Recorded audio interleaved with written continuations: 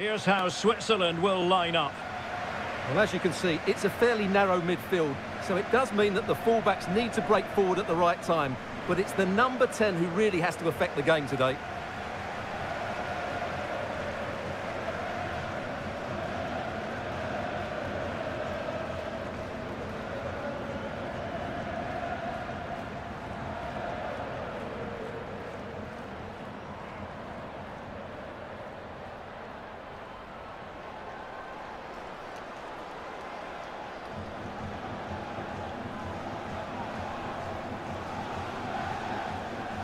A look at the New Zealand starting 11.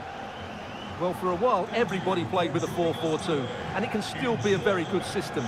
But it does rely very much on your front two getting the better of their markers, and the wide midfield players being good in 1v1 situations. Let's hope they play it well today.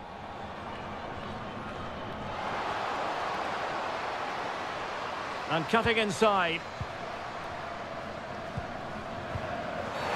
And the penalty has been given here.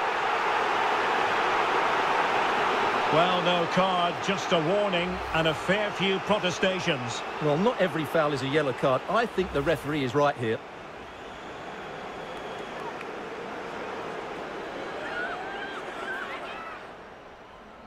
This to open the scoring here. And that is when you need your goalkeeper.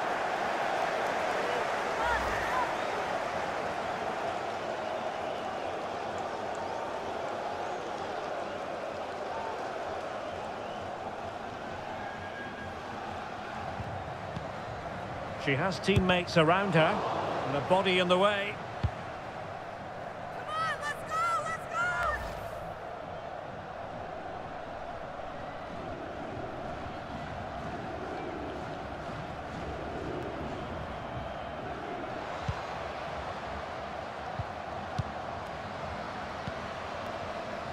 Happy to take on the shot, and good work to deny the chance.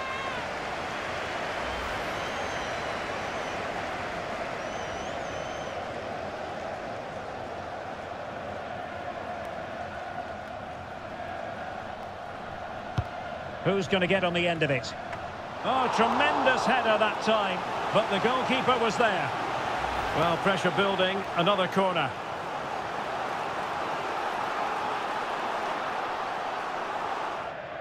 Now with Riley, and fed forwards. Played into the centre. And it was a great chance for 1-0. Well, that should have been the opener, shouldn't it? What a chance that was.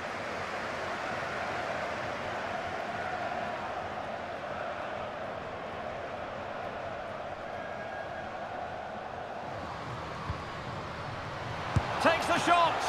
Oh, the keeper made it look routine. It was anything but.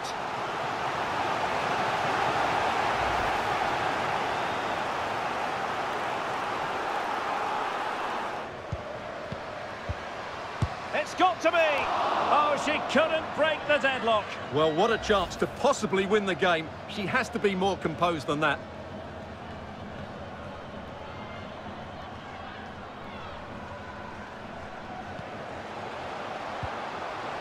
Can they forge ahead? Oh, body in the way, crucially. And the referee brings this contest to an end. We can say officially now they will be in the knockout stages thanks to this draw. Well, I thought a draw was the fair result. I think they just about deserved it. And now they can go into the last 16 full of confidence and maybe improve on that performance.